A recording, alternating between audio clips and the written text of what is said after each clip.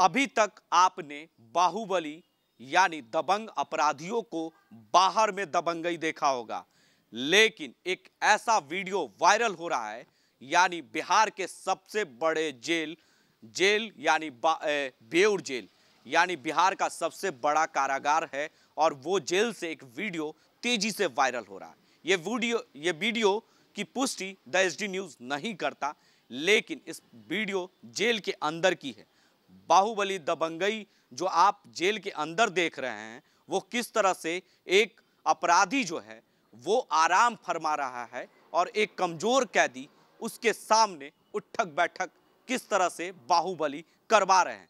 यानी कोई गलती अगर कोई कमज़ोर कैदी जेल के अंदर अगर गलतियाँ करता है तो उसकी पंचायत लगाकर खुद बाहुबली, यानी बाहुबली खुद उसकी फैसला जेल के अंदर करते हैं। वो तस्वीर आपके सामने है कि किस तरह से पूरा होटल के तरह पूरा वार्डरूम बनाया गया है जेल के अंदर। आराम फरमा रहे हैं बाहुबली और जो दूसरा अपराधी है, वो उनके सामने उठक बैठक कर रहा है। मंदिर बना है मतलब जेल के अंदर और होम थिएटर, टीवी यानी कलर स्क्रीन टीवी पूरी तरह से लगी हुई है। पूरा ज़मीन जो है, वो कार कारपेट से बिछा हुआ है और कंबल, तकिया, यानी पूरा होटल जैसा व्यवस्था उस रूम के अंदर है। यानी मंदिर के तरह, यानी एक भग, माता का फ़ोटो, तस्वीर लगा हुआ है।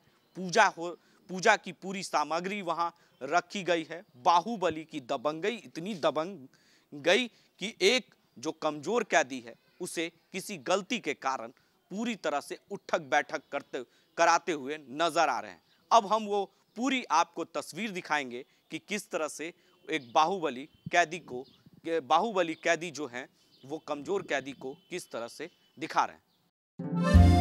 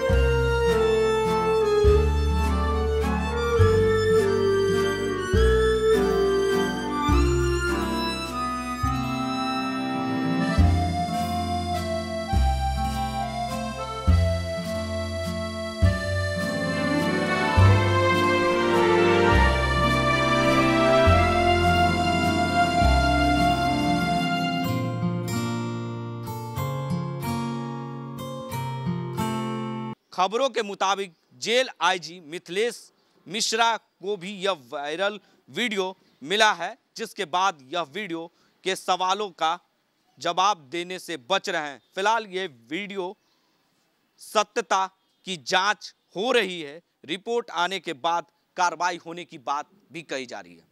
तो इस वीडियो में आपने साफ़ तौर से देखा कि किस तरह से दबंग बाहुबली कैदी जो है, वो एक कमज़ोर कैदी, यानी साइबर क्राइम में में हाल के दिनों में ही जेल के अंदर कुणाल शर्मा गए हैं। उनके साथ बाहुबली जो है, वो किस तरह से उठक बैठक करा रहे हैं। इसकी इस वीडियो को पुष्टि द एच न्यूज़ नहीं करता और जो अब इसकी जाँच अभी चल रही है और देखने वाली बात होगी कि इस वीडियो की जाँच कितनी जल्दी होती है और इस पर कार्रवाई क्या कुछ होता है।